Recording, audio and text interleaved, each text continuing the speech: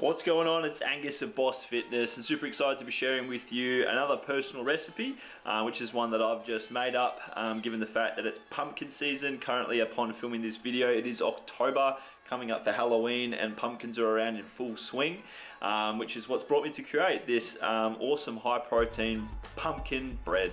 Um, it's absolutely fantastic, or I guess you call it pumpkin loaf, whatever floats your boat, but um, it's absolutely fantastic, very, very, very macro friendly. We're talking about 400 calories for an entire loaf. Um, this recipe that I'm to be taking you through makes two loaves, okay, so that you can split it between two cake tins and therefore either, in my sort of way, um, I have a whole loaf as a serving, um, or if you want, you can chop it up and then obviously, you know, adjust accordingly in terms of the macros and calories. But I'm really excited to take you through this, okay? We're going to go from start to finish. Uh, let, let's get stuck into it. Rightio, so here we have our uh, lovely pumpkin. So this is um, half a butternut pumpkin that's been mashed up. Um, what you can actually do for this, I've trialed it both ways, where you actually boil the pumpkin um, and mash it up, or actually roasting it and mashing it up. Uh, this variation here is the mashed up um, that's been cooked in the oven, all right? Um, I'll shift this aside. Obviously we've got our scale so that we can weigh the shit that we're going to be using. Um, we're going to be using some psyllium husk. The idea of this is that it helps to act as a bit more of a binder so we don't have to use a truckload of flour, um, but also to bump up the protein intake. I mean, sorry, the fiber intake. All right, we're going to be using um, a little bit of that, about 20 odd grams or so. Uh, we're going to be using an overripe banana. This one here you can see is um, just about past it, but in terms of making banana, I mean, sorry, pumpkin bread and whatever, it's really great for adding in there in in, instead of applesauce. We're going to use a whole egg. We're going to be using some uh, some protein powder, some whey. Obviously, you can substitute that for some pea protein or whatever other whey you're using, but this is what I'm using currently at the moment. We're going to be using some stevia. Um, this is obviously just for sweetener without any calories. Uh, we've got good old plain flour.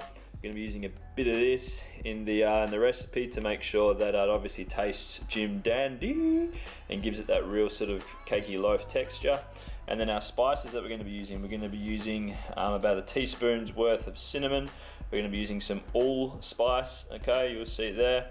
And then we're also going to be using some uh, good old mixed spice as well to give it all the zing and the zestiness that we want um, so that we've got that real nice pumpkiny type taste and feel. All right, so this is our weapon arsenal. Um, let's put it all together and start making the mixture. Also note that uh, what I've done is I've pre-prepared two cake pans. So this is just a bit of baking paper, sprayed it with a teeny bit of um, oil spray. And then what we've also done before this as well is uh, we've preheated the oven. You know, you probably can't see yeah, it's all right. Uh, to 180, okay, just normal. And um, the green light is on, so that means that we are all good to start cooking. Let's get into it.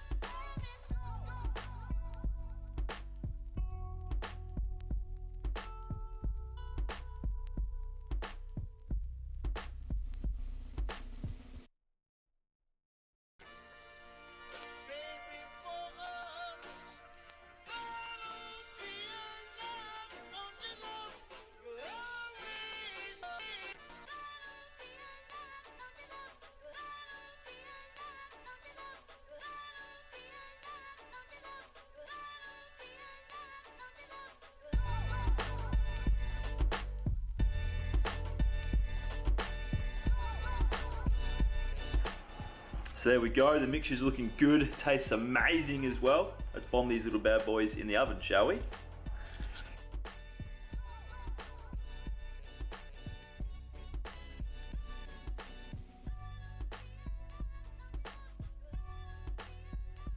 Now obviously we bombed it in there um, on 180.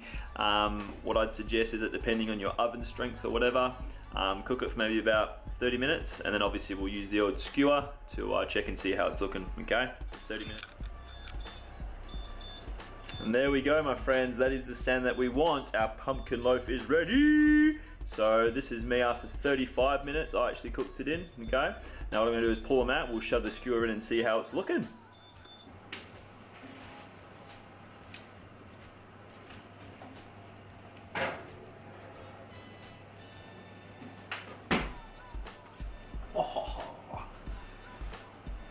Yeah, here we go. They're looking awesome. I don't even think we need a skewer for this. Um, so here we go. Um, this is how they turned out, the lovely beauties. Look at that, risen like a boss. How good.